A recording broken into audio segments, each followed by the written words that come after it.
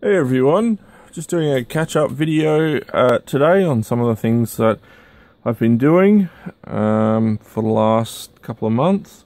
Um, I have been actually quite busy, uh, even though I'm trying to uh, trying to juggle everything around so that I've got enough time uh, to get stuff done that I want to get done without um, focusing too much on one thing and not enough on on another. Um, one of the biggest things that I have been doing over the last uh, probably month uh, is getting back into my schedule of sending stuff out for the stuff that people that have bought, um, that have been waiting.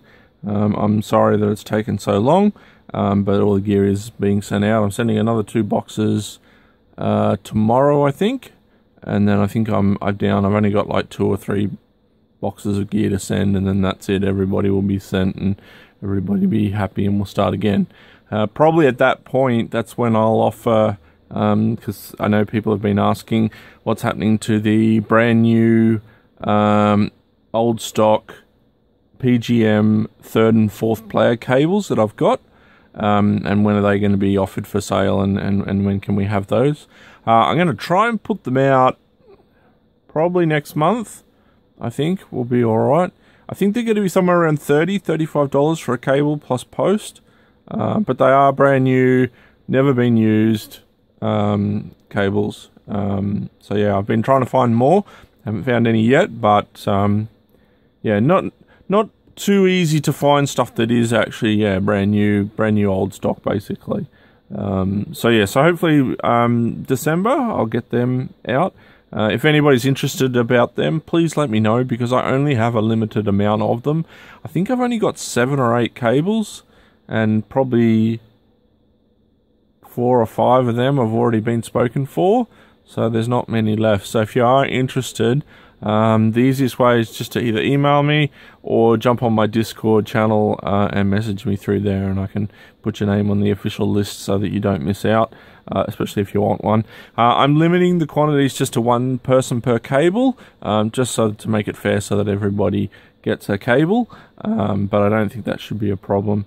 Uh, later down the track, I may be able to get some used cables, which are still fine anyway, uh, and then people can get extra cables um, that way.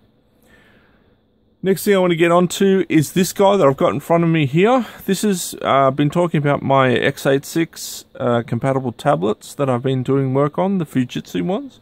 This is one of them. This is the guy here. Um, there's a bit of glare on the screen. Try not to get too much glare and still be able to show you it. Um, so yeah, so these are the guys that I've been working with. They've got a mobile Celeron 500 megahertz on board, uh, and you can put up to 256 meg of RAM. Uh, so these will run DOS, uh, like Windows 95, Windows 98, Windows 98 SE, 2000, and XP. Um, I've personally run DOS. This is the ni- this is my 98 SE machine, so this is 98 SE uh, and Windows XP. Um, are all the versions that I've currently run on these guys, and they run really, really well. I've actually got a page on my webpage for these guys, like on how to do stuff with them, etc. Because there's not a lot of info uh, about them out there on the web. Um, so there is actually a, a, page on my website about them, um, giving hints and tips and stuff, and quite a few. I've got a few mods, uh, like clocking these down. These are 500 megahertz uh, Celeron mobile, as I said.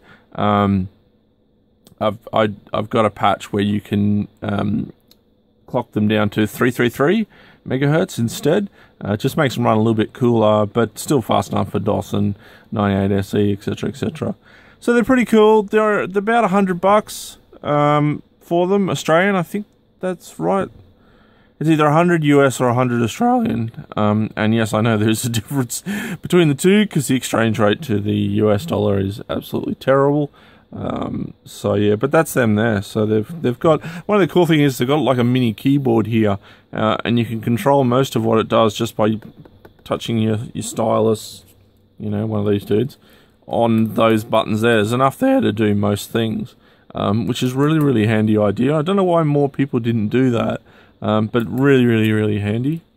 Uh, and then on the back you've got your the battery, uh, battery, hard drive RAM. So that's all loaded in there. Um, they're pretty easy to work with. Um, I've got on there how to put a new uh, real-time clock RTC battery in them. Um, it's only, I think, like six or seven screws.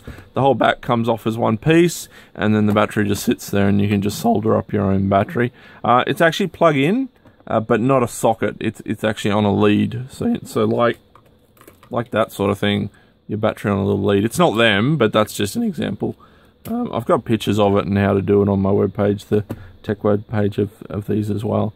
So yeah, so that's that's these guys. They're really really cool. Um, I'm really enjoying them. I, I love any x86 uh, stuff that's a little bit odd or a little bit different. So like tablet PCs like this, uh, or um, miniature computers like the Libretto, uh, which was a Japanese only thing. These things are interesting because they have Japanese and English language on them, but I've never seen them for sale in Japan, which is um, a little bit odd. Normally, stuff like this, because it's sort of a bit niche market, uh, normally gets sold in Japan, you know, first up because it's that's that's their target market. So um, yeah, so I actually get these from America. That seems to be where they're all hiding these days. So. Uh, if you're interested in one, you can always you know visit my site and have a bit of a read, uh, or jump on to eBay USA, or if you've got a proxy um, eBay USA, uh, jump in there and, and, and get them and you'll um, get them. So yeah, so that's them. Rightio, next thing. I've got a bit of a list here. I'm trying to work through it so I can make sure I keep on track. Uh, PGM2. Uh, I will be expanding my PGM2 um, part of my website uh, probably early next year. Um, I have got a new project at the moment that I'm working on, which I'm going to do a um, a separate video for. Uh, so I won't put that in here because it'll get mixed up, and I want to do just a video just on the PGM2 stuff that I've been doing. Uh, but that is happening, so that's pretty cool. Um, so I'm going to um, uh, buy a heap of, of, PGM2 gear in my dad's memory. Um, he always liked all the technical stuff that I did.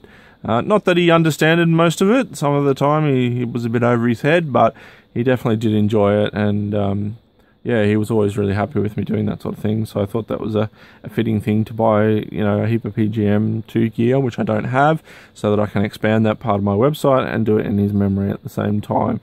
Um, because that's that's very very important to me on a personal level as well. Um, oh yeah, I forgot to say with these, you've got your PCMCIA slot in the in the side, which is I've got a wireless card in there at the moment. I forgot to say that, so whoops, just jumping around there a little bit. Um, I'm doing some more Game Boy uh, translation technical videos too. I'll be doing some more of those. Um, so I've got my little. This is one of my little units that I have. So I'm doing some more stuff on that. Uh, I did a video on making your own translated cartridges. So I did the first video. Now I've got to do the second and third videos, uh, and there'll probably be a couple more to to that as well. Uh, but they're just waiting on some donor cards to come in, and then I'll be doing the. I think it's the first video. The next one I'm doing is actually on actually making them yourself. So it'll be on soldering and and actually doing all the the actual hard stuff that you've got to do to do. Um, it's it's easy once you know, um, but if you're new to it, then it can be a little bit difficult. But I'll go through all that in the video, um, so that's coming up. Now, more PGM stuff. Fluffy's uh, Cave Shooter PCBs, um, which have been delayed for quite a while, um, are now on their way to me. Uh, a batch, not a huge batch, but enough that I, I think I should be able to do all of the orders that are outstanding. Uh, so anybody who's got uh, Cave cartridges that are outstanding, um, I should be doing them very, very soon. I'm just going to go through and make up a whole heap of cartridges and then send them all out in one big go. Um, it's probably the most uh, time effective way of doing it. Um, so that's that happening. Um, I bought a new webcam. Um, the videos that I do here, and including this one that I'm doing now, uh, is all done with my old uh, Samsung S5 mobile, which is like really, really old. Um, so I bought a 4K uh, webcam uh, camera to to to do so I can do videos at a bit higher res and um, a bit better quality. Um, plus, if I want to do any uh, YouTubing, which has actually got me in the the actual videos, um, the webcam will be good for for doing stuff like that. uh, if I have to help anybody out via the net, um, doing a two-way, doing video conferencing to help them out with any arcade stuff or electronics or whatnot, um, the 4K, even at 2K, will look a lot better than my 720 uh, DPI one that I've got here at the moment, which is just, yeah, it's it's okay, but it's just not enough. So I've got that little guy. So that's the next one. Now, last on the list is my consoleized uh, PGM that I've been working on. Uh, it'll be, have another video on its on itself. Uh, it has been delayed. Um, I'm just trying to get all the plastics finished. I'm trying to get all the physical stuff done so that I can actually design the shape of where the PCB sits, and then I can start working on the PCB. Uh, so for now, it's it's just being it's at the plastics place, basically just getting uh, the next uh, iteration um, of the prototype done.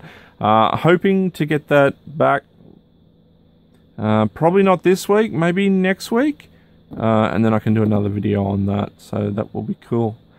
So there you go, guys. That's all I really wanted to catch up on, uh, since I've been a bit behind for my uh, YouTube videos, and, and that's why I have, because I've got all this stuff going on. Uh, so I just wanted to do a catch-up video. If you found this handy and want to see more videos like this, just let me know. Thanks, guys.